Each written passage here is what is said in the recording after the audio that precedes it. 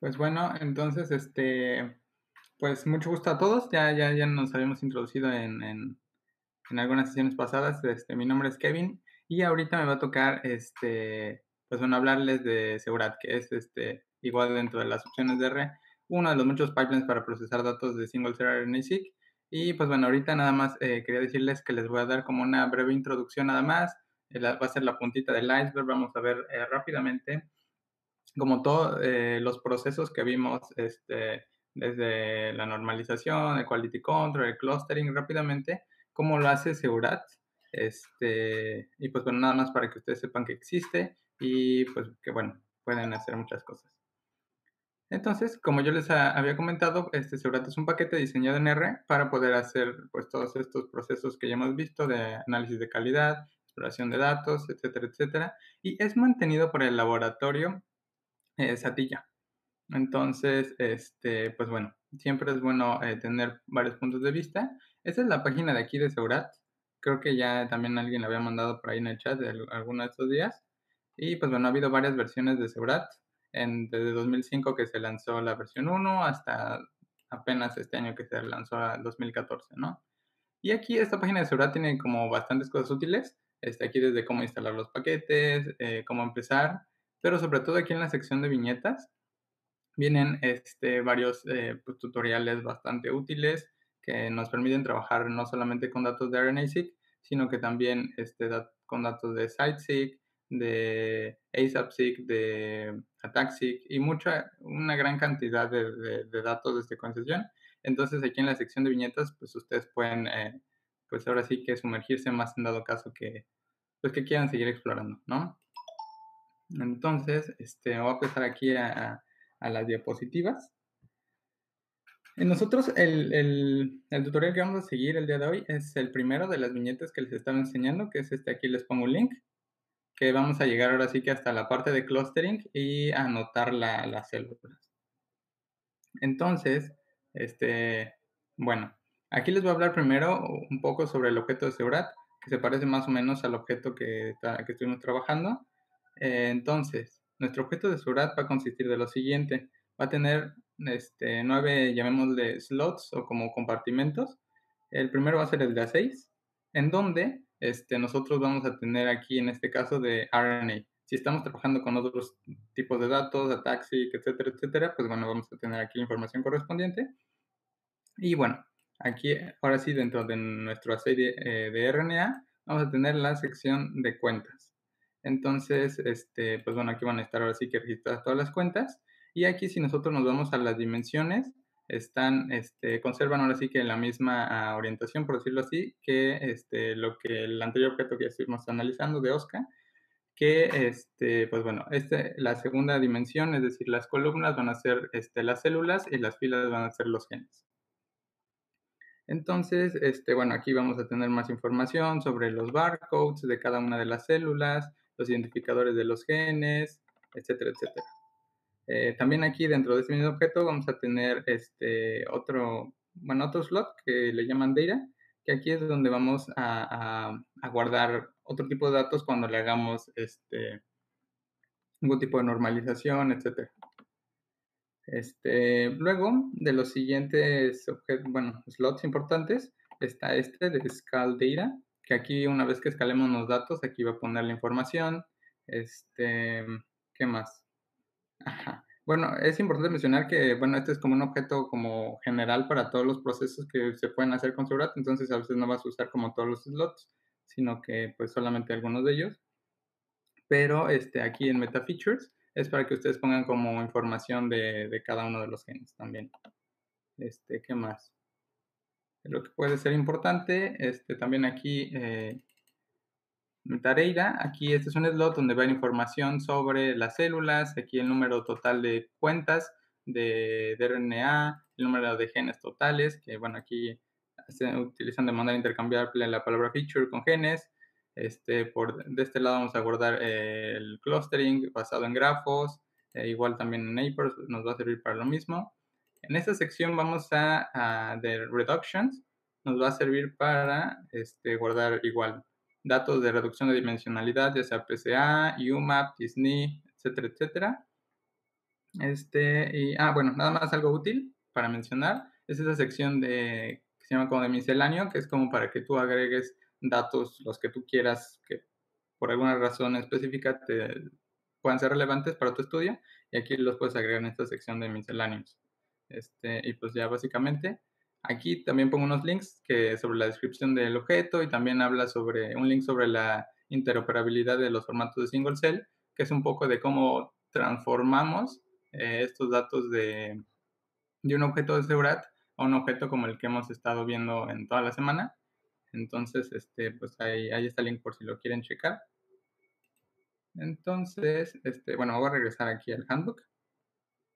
Y este, vamos a trabajar ahorita con datos de PBMCs, ¿no? Que ya lo estamos trabajando.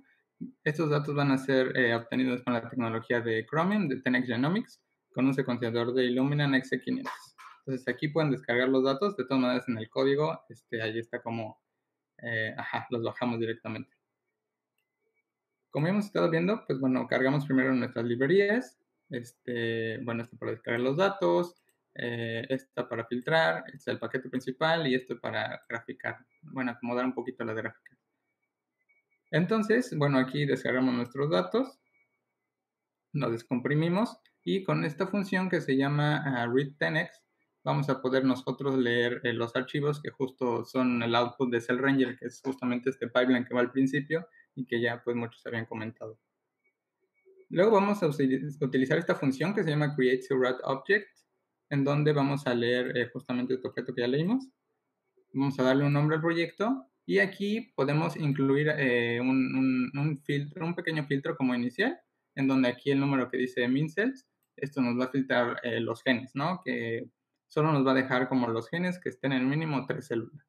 Y también hay un, eh, un filtro para las células, bueno, como inicial, en donde pues solamente nos va a dejar las células que tengan por lo menos este, 200, 200 eh, genes, ¿no? Pero eso también, bueno, lo vamos a poder ajustar un poquito más en el, control de calidad. Esto de aquí este es eh, sobre el objeto de Surat, que ya les estuve platicando. Y este, pues bueno, ahora, ¿cómo, podemos accesar a esta información?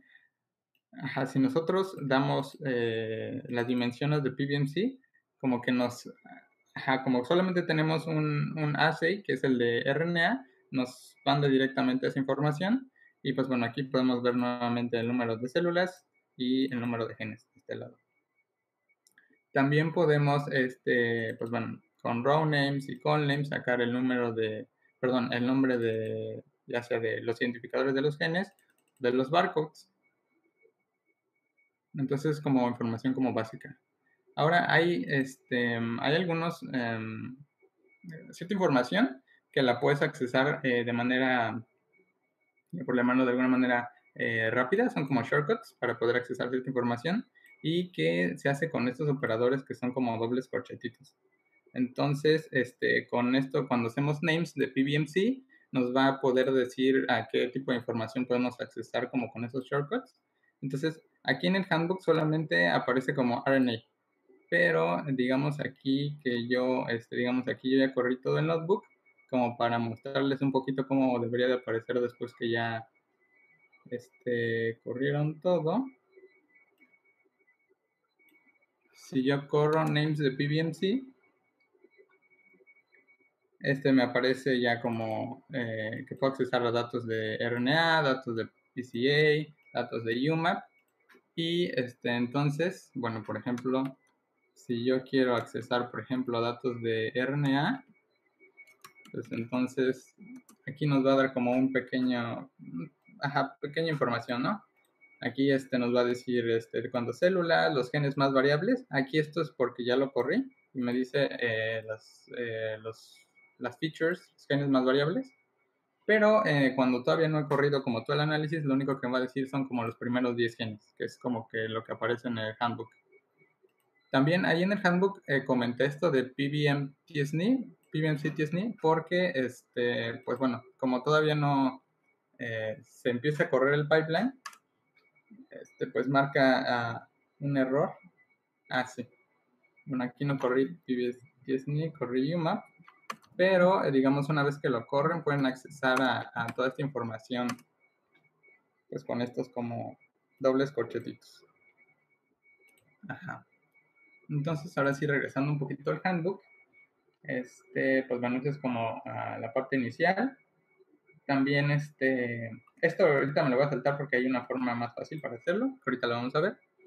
Y, este, bueno, también podemos acceder a la metadata de las células, que nos va a decir, este, como de qué identidad, este, cuál es la identidad que tienen las células, porque aquí lo que puede hacer en Seurat es como, este, juntar varios proyectos, como que tienes un proyecto que te llama PBMC 3C eh, y puedes juntar otro proyecto que tú tienes y entonces esto te va a poder, eh, no sé si tienes otro experimento con otras condiciones, lo puedes aquí en esta columna identificar tu identidad.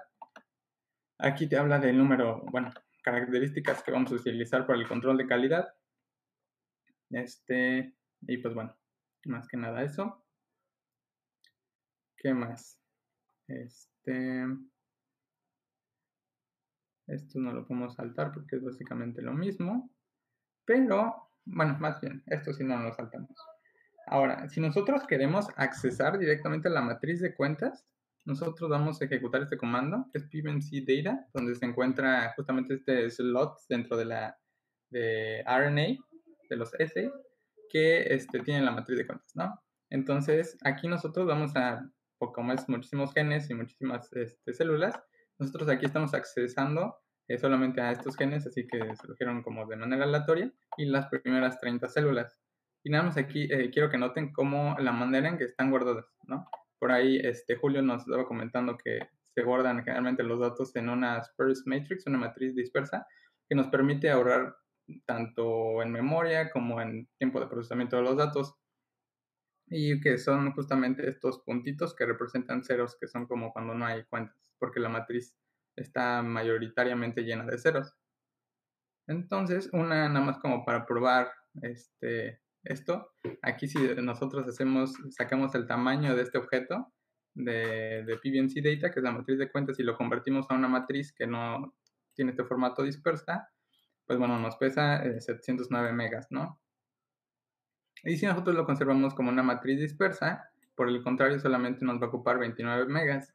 Y esto pues es, este, pues, es increíble, ¿no? Cómo se, se puede eh, ocupar 24 veces menos espacio cuando se hace la matriz esparsa. Entonces, este, bueno, pasando y recordando también que sirva como una recapitulación de, de, lo que ya vimos, este, bueno, hay algunas cosas que nos pueden servir eh, para hacer control de calidad, este, como los genes únicos detectados en cada célula, el número total de moléculas y nuevamente el número de lecturas que, que, mapean al, genoma mitocondrial, ¿no? Entonces, para calcular justamente esta, eh, el porcentaje de lecturas que mapean al, al, genoma mitocondrial, hay una función que se llama eh, percentage feature set, en donde pues tú le vas a dar el patrón de cómo inician justamente los IDs de todos los genes y eso lo que va a hacer es, este, decirte tantos genes para cada eh, célula son eh, eh, mitocondriales, ¿no? Y lo vamos a guardar justamente en este slot. aquí estamos haciendo un violin plot en donde ploteamos justamente todas estas características que nos van a servir para el control de calidad. Este, pues bueno, que ya más o menos habíamos visto un poquito esto. Y este, Ajá. Y luego también podemos hacer como algunos este, scar plots, unos diagramas de dispersión en donde vemos, bueno, esto tratan como de ver un poquito como la correlación entre, por ejemplo, el número de genes de cada célula y el número de, moléculas que se encuentran en, cada una de las células. Y pues lo que comentan es que siempre tiende a, correlacionar mucho, ¿no? Aquí podemos ver la R de, de 0.95. Mientras que por ejemplo, aquí el porcentaje de genes mitocondriales contra el número de, este, de, moléculas de RNA, pues no, no, no tiene como una correlación así como marcada, digamos. Entonces, pues eso es algo de lo que puedes hacer. Y finalmente vendría a hacer el filtrado, ¿no? Que en, en el libro de la OSCA ya vimos que podíamos usar funciones como isOutlier, este, que hacían como, como el trabajo por ti, Pero bueno, en este caso estamos, eh, bueno, aquí en, esta, en este caso de aquí, estamos usando como números, este, aquí el porcentaje de, de, genes mitocondriales tiene que ser menor a tanto. Y el número de, de RNA, de moléculas que tengo que tener es tanto, número de genes tanto, y así. Entonces, una vez que nosotros lo agreguemos a, nuestro PBMC, porque una vez que hagamos el subset, nos va a regresar un, objeto PBMC, un objeto de, la misma naturaleza. Entonces, por eso que podemos este, sustituir el objeto que ya teníamos, ¿no? El original. Entonces, este, bueno, esta, esta eh, metadata se va a alojar en el slot de, de metadata entonces, pues la vamos a, es esta nueva columnita que apareció aquí. No sé si se acuerdan que al principio pues veíamos como solamente estas tres este, columnas y ahorita ya acaba de aparecer esta de acá.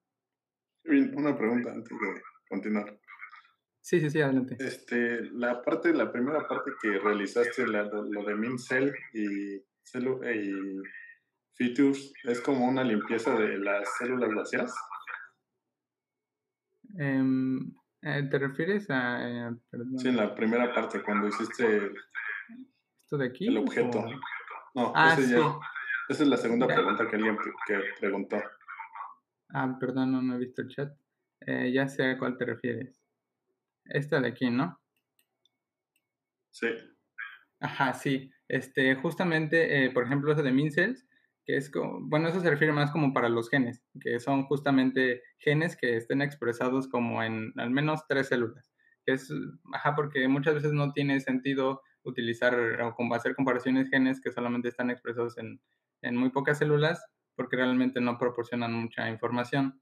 Y lo mismo pasa con, con las features. O hay células que, ajá, que quizás son de baja calidad y pues no tienen como una cierta cantidad mínima de genes este, y pues si no nos van a proporcionar información. Entonces sí sería como el empty out. ¿Como el qué, perdón? Empty out, la, función esta.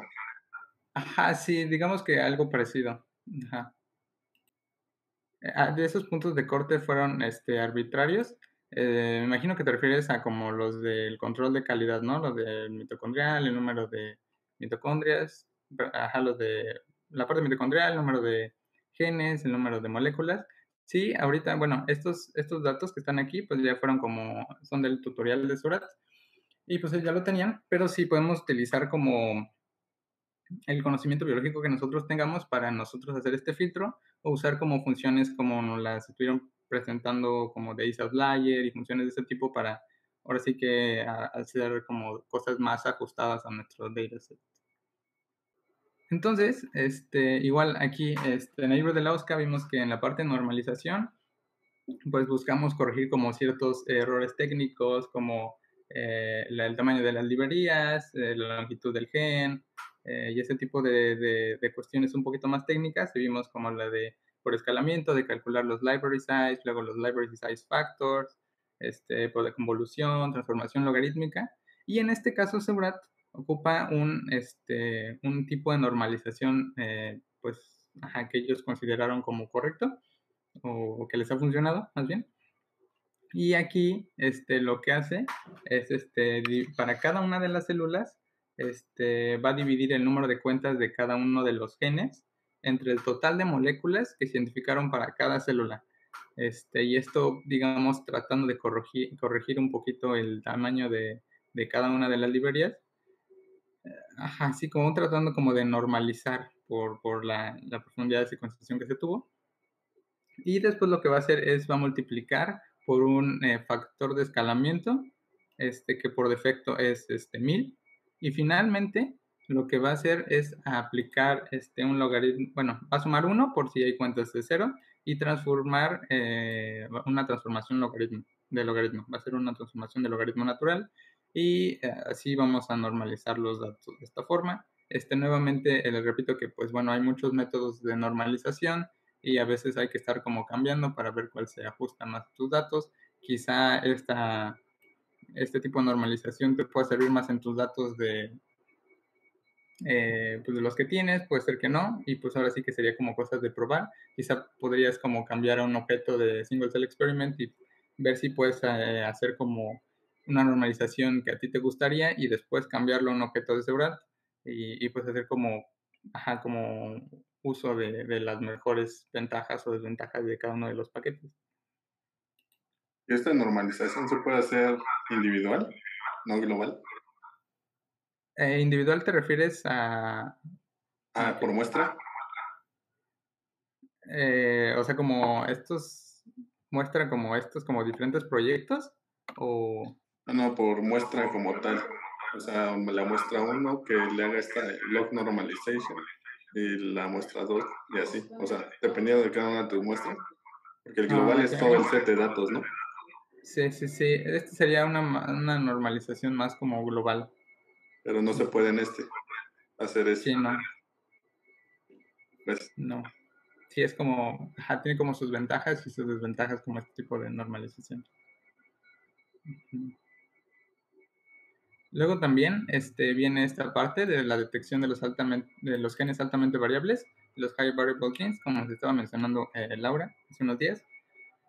Y este, pues bueno, aquí hay una, eh, una función que se llama find variable genes, que nosotros le vamos a dar este, nuestro PBMC.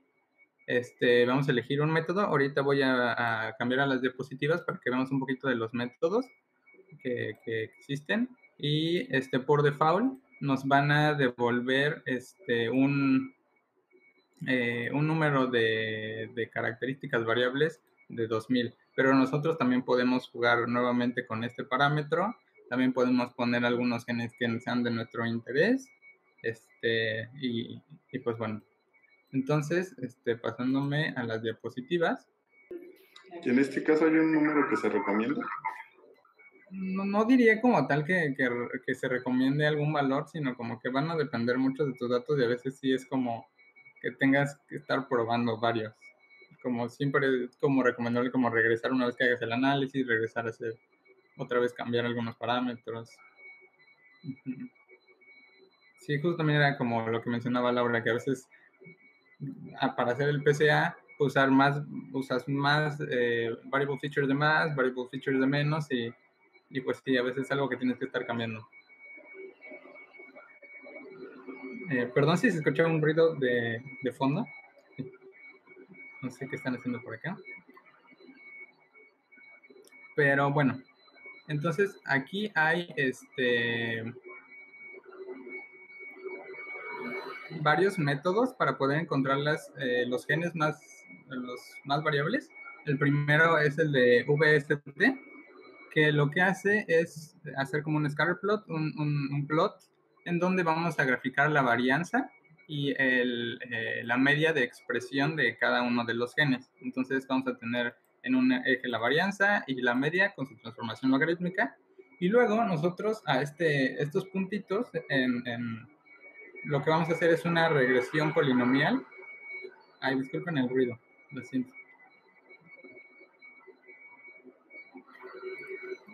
Este, bueno, vamos a hacer una regresión polinomial y lo que vamos a hacer es que, bueno, esta regresión nos va a dar como valores, este, digamos, esperados para cada uno de estos genes, como, ajá, como la expresión y la varianza esperada. Y lo que vamos a hacer es, este, ahora sí que estandarizar los valores de, la, de las características de los genes usando la, la media observada y la varianza. Y luego, este, Eh, pues bueno, ya ahora sí que una vez que haces como esa eh, estandarización, te quedas con los genes que tengan una mayor dispersión. Este, otro de los métodos es simplemente utilizar la dispersión de cada uno de los genes y pues quedarte como con los genes que sean así, pues más, eh, que tengan una mayor variabilidad. Y este, otra propuesta que me pareció bastante interesante, que le llaman como MVP, eh, y es que aquí, eh, bueno, se van a tomar dos cosas en cuenta. Uno es la expresión promedio de cada uno de los genes y otra es la dispersión, eh, haciendo referencia como a la varianza que tanto cambia la expresión para cada uno de los genes.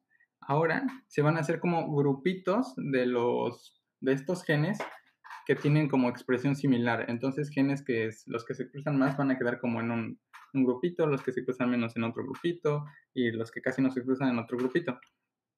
Entonces, sobre, sobre estos grupitos lo que vamos a hacer, vamos a calcular los set scores eh, las puntuaciones Z, y vamos a ver la dispersión de cada uno de estos genes dentro de ese grupito de genes con la misma expresión. Y pues de alguna manera este, este método lo que busca es identificar las características de, las variables mientras se controla una fuerte relación entre la variabilidad y la expresión promedio del gen. Entonces, este, pues esas serían como las formas que tiene Seurat este, para encontrar los genes más variables. Y este, pues bueno, aquí hacemos eh, un head de los top 10 de los genes más variables, en este caso que se encontraron para este dataset, y los tenemos de este lado. Em, podemos hacer un plot también con esta función de aquí, este, que se llama Variable Feature Plot, en donde este, pues, ponemos la expresión promedio de cada uno de los genes y la varianza estandarizada. Entonces aquí nosotros también podemos marcar nuestro top 10. Aquí vemos los 10 genes más, eh, más variables de todo nuestro dataset. Este, ¿qué más? Déjenme checar el chat a ver si no hay alguna pregunta, ¿no? Este, luego también eh, hacen, se tiene un, un, proceso donde se escanan los datos se va a guardar ahí por si se llega a utilizar en algún momento. Y aquí lo que se hace es este, pasar eh, la media de la expresión de cada una, eh, bueno, cambia la expresión de cada gen, de modo que la expresión media en la célula sea de 0 y que la varianza sea de 1. Entonces, de alguna manera, eh, se trata de que los genes que son altamente expresados no dominen tanto. Entonces, para esto nada más habría que correr la función de scale data y pues ya eh, nada más guardarlo como en, nuestro objeto y ya se quedaría ahí la información. Finalmente, bueno, más bien como siguiente paso, podemos hacer una reducción de dimensionalidad lineal, PCA, como lo hemos visto. Y aquí el PCA va a utilizar, es muy importante, eh, igual que como vimos en la OSCA, eh, las variable features. Va a utilizar las genes este, más variables que calculamos en el paso anterior. Entonces, este, ajá, algo muy, em, bueno, como saben, al momento de hacer un PCA, cada componente tiene una mayor o menor influencia de cada uno de los genes. Entonces, esto nosotros lo podemos visualizar con, eh, bueno, simplemente, bueno, más bien desde tablitas, aquí imprimiendo como PBMC, y se acuerdan que este es como uno de los shortcuts que lo estaba platicando, como de entrar a cosas de la reducción de dimensionalidad, vamos a, elegir las, los, PCAs del los PCs del 1 al 5 y las primeras 5 características. Entonces aquí nos está diciendo cuáles genes tienen este, mayor influencia, tanto positiva como negativa, en, los diversos componentes principales. Y esto también lo podemos ver de una manera eh, pues más gráfica. Entonces para el componente 1 podemos ver que este, el gen que tiene más influencia en ese componente pues es CTS3.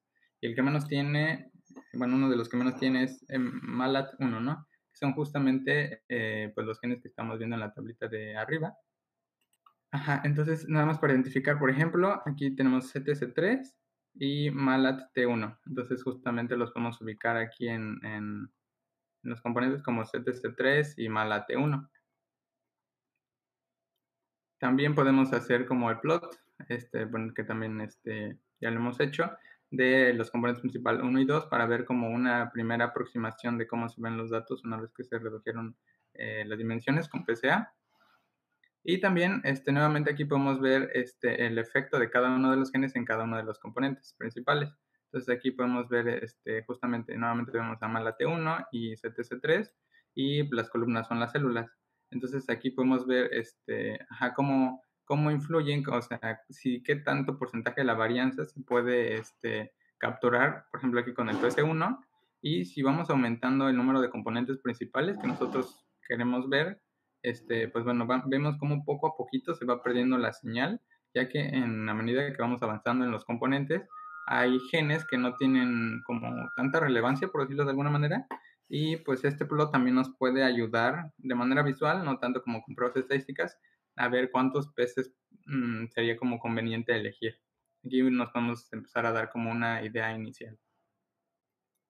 Luego, este, una vez que nosotros hicimos la reducción de dimensionalidad, eh, pues es muy útil. Este, ahora sí que como viene aquí, ¿cuántos componentes deberíamos incluir? ¿10, 20, 100? Este, pues bueno, es una pregunta eh, bastante importante. Vimos con esta, Laura me parece, eh, un, sobre el elbow plot, el, el, plot del codo, que es una, aquí también lo vamos a ver.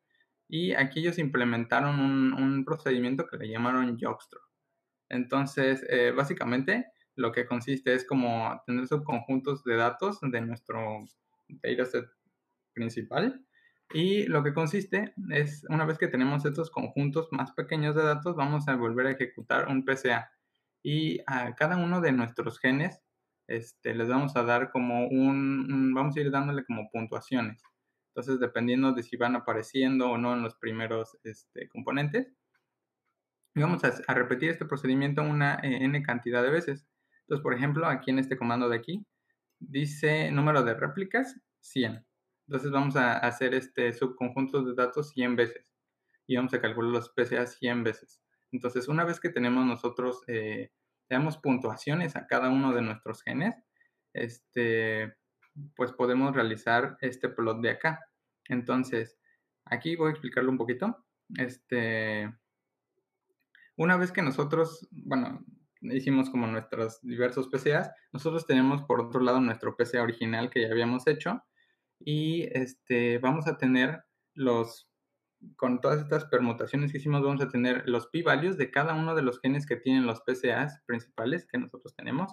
Y este, bueno, aquí vemos una distribución que es en el eje de las X. Aquí estará como la distribución de, y pues podríamos, podemos ver aquí que digamos la distribución está situada como a la izquierda, eh, sobre todo por estos primeros componentes, eh, que tienen un p-value muy bajo, la mayoría de los genes del, componente principal del 1 al 5 más o menos. Entonces aquí, por otro lado, también vamos a tener una, eh, una distribución uniforme contra la que vamos a comparar la distribución de los p-values de cada uno de los componentes. Este, entonces, la distribución, bueno, la uniforme, que sería como con datos así que no son nada relevantes, sería esta línea punteada que vemos por aquí. Y se trata de que cada uno de los componentes eh, se, va a comparar contra esta línea y tiene que ser lo más diferente posible. Entonces, eh, una vez que hacemos como pruebas, podemos aquí ver de este lado derecho los p-values de qué tanto se parece cada uno de los componentes a esta distribución uniforme. Y, por ejemplo, aquí hasta el componente 12 más o menos, vemos que este es significativamente diferente y a partir del componente 13 ya se parece más a una distribución uniforme y ya no tiene como la señal que nosotros que, querríamos ver. De todas maneras, este, pueden meterse como a la documentación de esta función y ver como más a detalle un poquito de qué se trata, por si les quedaron como algunas dudas. Y pues bueno, otro de los métodos que ya vimos con, eh, con Laura es el, el elbow plot, el diagrama de codo, que nos habla del número de componentes y el porcentaje de, de la varianza que nos van a explicar. Entonces, en este caso, podemos contar 1, 2, 3, 4, 5, 6, 7, 8, 9, 10 más o menos componentes principales, por decir algo. Y pues bueno, en este caso nos decidiríamos por quedar como 10, con 10 componentes, ¿no? Pero bueno, igual va, va, va a depender de cómo lo, lo interpretes. Em, finalmente, en la parte de clustering, este, vimos también este, en el tutorial de la OSCA que, pues, bueno, está como lo, es un clustering basados en grafos y tenemos como el SNN y el KNN. También este, cuando vimos este, esos tipos de clustering, había una sección donde decía clustering tipo Seurat. Entonces, aquí básicamente lo que hace Seurat es hacer un, un este, KNN y el peso de estas aristas de cómo, cómo se van conectando cada uno de los nodos se va a dar por eh, la similitud Yakar. Este, y finalmente el algoritmo de clustering que va a usar es Louvain. Entonces aquí vamos a encontrar, eh, vamos a utilizar la función de find neighbors. Aquí nosotros estamos utilizando, bueno, nada más las primeras 10 dimensiones del PCA, que bueno, fue las que decidimos, bueno, las que en este tutorial se decidieron elegir. Y este, pues bueno, está computando como pues todo eso. Y al final ya nada más encontramos este, pues los clusters, ¿no? Entonces aquí nos dice que se encontraron nueve comunidades, nueve clusters, Y si nosotros nos vamos como a, la metadata de nuestros, vamos, vamos a ir rápidamente a RStudio. Si nosotros queremos ver como esa información, podemos en RStudio, este, aquí ver en la sección de metadata y vemos cómo esta información nos... voy a hacer un head porque son demasiados.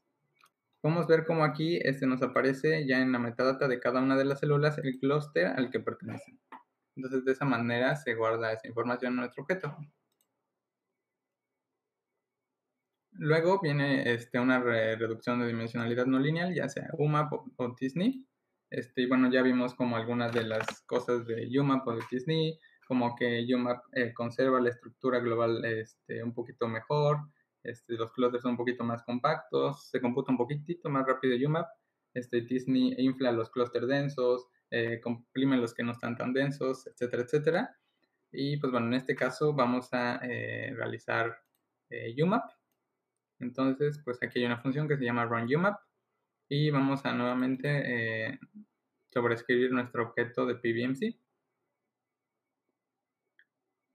Este, luego, con, si hacemos esta función que se llama dimplot y en reducción le damos umap, solita la función entiende, bueno, una vez como ya se tienen los clusters, se va a agrupar de manera default como por los clusters.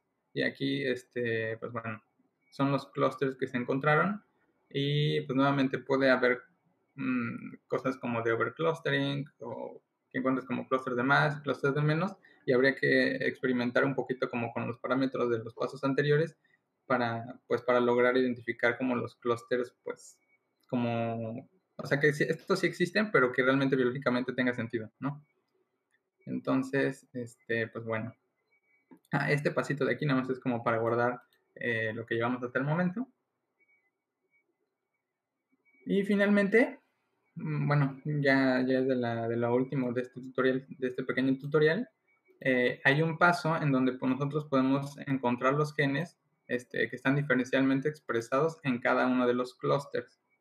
Entonces, este, aquí nosotros podemos hacer comparaciones, ya sea de genes, o sea, por ejemplo, en este, en este comando que les estoy mostrando aquí, este, nosotros estamos utilizando nuestro objeto PBMC, nuestra identidad 1 va a ser 2. ¿Esto qué va a significar? Nos va a estar diciendo que vamos a comparar, a comparar el clúster 2 contra todos los demás genes y vamos a identificar aquellos este, que estén eh, diferencialmente expresados. Y aquí este, hay un, parámetro que se llama eh, min eh, como percentage, que esto lo que nos va a indicar sería como que solamente va a tomar en cuenta como los genes que estén expresados en al menos 25% de las células de nuestro clúster 2. Entonces, de esta manera no nos va, bueno, permite como ahorrar tiempo al no estar como probando genes que no estén como presentes en todas las células, porque realmente como, bueno, la hipótesis detrás de esto es que no, ajá, que, que los genes que, se, que son como marcadores de cada uno de los clústeres tienen que estar como en la, mayor, en la mayor parte de las células. Y pues bueno, si nosotros hacemos un, head de estos eh, marcadores del clúster 2, pues aquí podemos ver como datos como lo del log change, este, el p-value ajustado eh, por el, el, multiple test, el hacer como diferentes pruebas, eh, pruebas múltiples. Y también, este, bueno, hay una, podemos hacer como comparaciones, no solamente de un cluster contra todos, y si nosotros ponemos identidad 1 e identidad 2, podemos comparar como por ejemplo el cluster 5 contra los clusters 0 y 3, ¿no? Entonces junta estos datos y los compara contra el cluster 5. Entonces, si nuevamente nos da los marcadores. Eh, también hay una función que se llama find all markers, que nos va a encontrar los marcadores para cada uno de, de, este, de nuestros clusters, como para hacerlo ya de manera automática. Y bueno, también en, tanto en esta eh, función como en la otra función existen eh, parámetros como de only positive, que son justamente los genes que se están como sobreexpresando que normalmente son como los que queremos nosotros, que sean justamente los marcadores de esos genes. Y también hay un log fold change thread, eh, como un umbral de, expresión de más que tú quisieras por alguna razón. Este, puedes jugar también un poquito con este valor. eh, dependiendo también nuevamente como de, de los datos que tú tengas. Y pues bueno, estos son como los datos de todos los genes. Eh, y aquí hay un parámetro que este, es muy importante, que en, los, eh, en las otras pruebas de arriba estaba como por default, que es este, em, los tests que se pueden usar para hacer como estas comparaciones de qué tanto está más sobreexpresado los genes en, en, este, en cada uno de los clusters. Y aquí hay una prueba que se llama de ROC, pero también podemos usar eh, pruebas como Wilcoxon, como t-test, eh, como también la comparación de expresión diferencial que usa DSEC2, DSEC2 es el paquete de como, que está como para bulk RNA-seq, y hay como muchas opciones, y también, este, pues bueno, sería como uno de los parámetros que eh, abordamos algunas cuando vimos algunas de las opciones, cuando vimos el tutorial de la OSCA, pero pues también es como para que Ajá, sí, ver cuál se ajusta más a tus datos, ¿no? Mm, ¿Qué más? Mm, en el chat no tenemos preguntas por ahora, ok. Luego, este, también podemos hacer unos eh, violin plots eh, de, pues bueno, nuevamente podemos elegir, ¿se acuerdan que también que en algún momento en una clase estuvimos como probando algunos genes para ver cuáles estaban como más sobreexpresados en algunos clusters, eh, cuáles no, pues bueno, aquí puedes también tú elegir eh, genes que te interesen y hacer como violin plots para ver, por ejemplo, ah, pues aquí claramente puedo ver este, que tal en el clúster 3, el gen MC4A, pues está como sobreexpresado, ¿no? Y puedes hacer como este tipo de plots que te ayuden a visualizar un poquito mejor la información. Este, pues bueno, esto es prácticamente lo mismo. Otro plot que se me hizo, bueno, para mí se me hace como bastante interesante, es este que se llama Feature Plot, en donde este, utilizas nuevamente tu objeto y tú puedes seleccionar eh, los genes que te interesen, eh, ya sea porque son marcadores de los clusters o porque quieras medir la, expresión de un gen particular que esté, que esté involucrado en tu proyecto. Y este, aquí, por ejemplo, lo que puedes ver es, en este caso utilizamos UMAP, ver la expresión de cada uno de los genes que a ti te interesan a lo largo de los clústeres. Y esto, esto, también imagen eh, nos puede servir como para cuando tenemos como eh, clústeres, un, digamos, cuando es como clústeres de menos, y pues quizá por algún marcador puedes identificar, ah, estos clústeres que estaban juntos, como veo como tal marcador, pues puedo ayudar a separar este, tales clústeres, ¿no? Es como un poquito ayuda visual para poder hacer ese tipo de cosas. Y este, ¿qué más? También podemos hacer este, con esta función de doHeatMap. Este, podemos utilizar los marcadores de cada clúster. Eh, y aquí, bueno, este es un pipe que nos permite eh, pues hacer como un flujo de la información. Vamos a agrupar eh, los marcadores por clústeres. Vamos a sacar los, los, los top 10 marcadores de cada uno de los clústeres y vamos a hacer un heatmap. Entonces, una vez que lo vemos nosotros en un heatmap, pues ya vemos como, se debería ver como una línea así como en la diagonal de cada uno de los genes marcadores para cada uno de los clústeres, que pues más o menos eh, ligeramente podemos ver como aquí, ¿no? Aunque claramente, pues bueno, también hay células que, mm, ajá, pues pueden llegar a compartir la expresión de algunos marcadores, este, y así. Y finalmente, este, vamos a ver rápidamente la... Eh, la asignación de la identidad de los tipos de clusters. Aquí realmente en Segurat no tienen como, bueno, en el tutorial lo mencionan como un... Eh, como una metodología, así como la que acabamos de ver eh, hace, hace ratito, de single R, en donde puedes utilizar como anotaciones de datasets como en específico para lograr anotar, e identificar la identidad de tus clusters. Este, aquí más que nada lo que se hizo fue como anotación por marcadores este, como por ejemplo, yo sé que tal marcador es de células eh, TSD4 eh, naive o que son de células CD4 de memoria, sino que aquí más se hizo como ahora sí como a vista y así fue como se anotaron los clústeres, pero definitivamente hacer como anotaciones como las vimos hace rato es como lo, lo, lo ideal, pero pues bueno, aquí nada más en el tutorial se muestra, pues esta, esta aproximación. Y este, finalmente, eh, pues así quedaría como nuestra figura final, este, ya con nuestras células este, anotadas. Y creo que eso sería todo. Nada más no olviden guardar como sus datos al final. Y pues ya, creo que ese sería como básicamente como una recapitulación de lo que vimos como la semana y como la contraparte en, en Seurat y pues algunas, algunos plots de más, plots de menos. Y pues ya nada más ahora sí que quedaría eh, pues en ustedes ver cuál, cuál paquete les acomoda más, cuál les permite hacer cosas que a ustedes les gusten y que se ajusten más a sus datos. Y ya, creo que eso sería todo.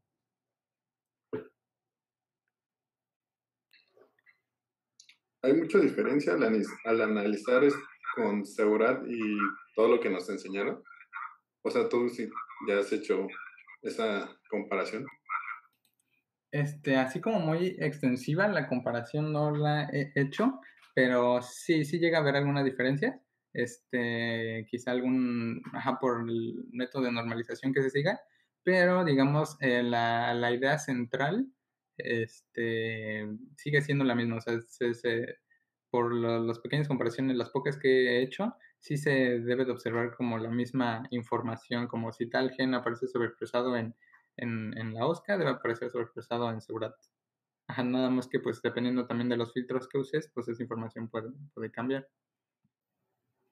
Creo que tiene long normalization y SCT transform, ¿tienes alguna preferencia?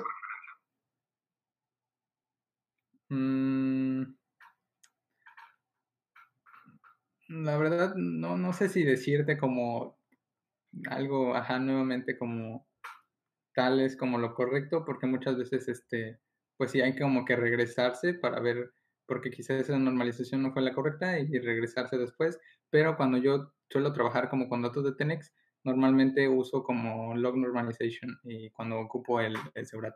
Entonces esa me ha funcionado como bastante bien y pues es la que he usado.